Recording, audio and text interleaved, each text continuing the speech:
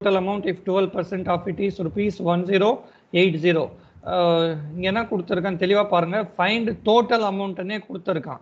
நான் அதை சொன்னேன் எப்போவுமே என்ன ஆகும்னா இந்த பர்சன்டேஜை பொறுத்தவரை மூன்று வேல்யூஸ் தான் சுற்றி சுற்றி வரும். ஒன்று டோட்டல் வேல்யூ அந்த டோட்டல் மார்க்கோ அல்லது டோட்டல் அந்த பொருளுடைய விலை என்ன அந்த மாதிரி என்ன ஆகும். கம்ப்ளீட்டாக ஒரு டோட்டல் மதிப்பு ஒன்று இருக்கணும். அடுத்தது பார்ட் வேல்யூ அப்படிங்கிற மாதிரி ஒன்று கொடுத்துருக்கணும். அடுத்தது என்ன பண்ணியிருப்பாங்க? இந்த இடத்துல பர்சன்டேஜ் என்பது போல் ஒன்று வந்து கொடுத்துருக்கணும். இந்த மூணுத்தில் ஏதாவது ஒன்று கண்டுபிடிப்பது போல் வரும். அவ்வளோதான் வேறு எதுவும் இங்கே வந்து பண்ண போகிறது இல்லை அந்த அமௌண்ட் என்னன்னா இங்கே வந்து என்னன்னு வந்து எனக்கு எக்ஸாக்டாக தெரியலை. டோட்டல் அமௌண்ட் என்னன்னு எனக்கு தெரியல. ஆனால் அதில் பன்னெண்டு சதவிகிதம் வந்து ஒன் ஜீரோ எயிட் ஜீரோ அப்படின்னு மட்டும் எனக்கு வந்து தெரியுது. ஒருவேளை எனக்கு வந்து சம்பளம் வந்து ஏதோ இருக்குது அதில் டுவெல் பர்சன்ட் வந்து நான் வீட்டு ரெண்ட்டுக்கு கொடுக்குறேன். ஆயிரத்தி எண்பது ரூபாய் கொடுக்குறேன். அந்த அப்போ அவருடைய முழு சம்பளம் எவ்வளவு கால்குலேட் இவ்வளோ தான் கேள்வி. அப்போ என்ன பண்ணுறேன் இந்த மாதிரி ப்ராப்ளம்க்கு அவங்க என்ன கொடுத்துட்டாங்க?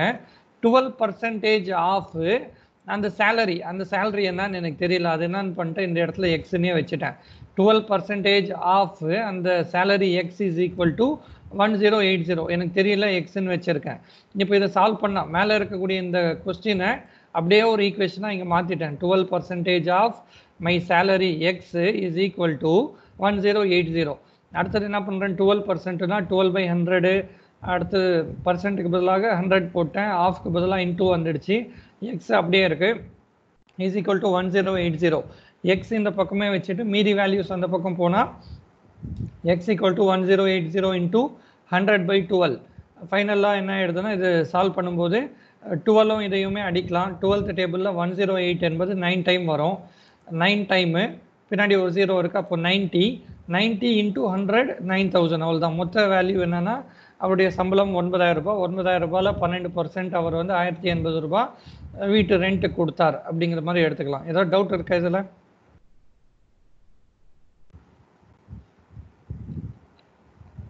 டவுட்டு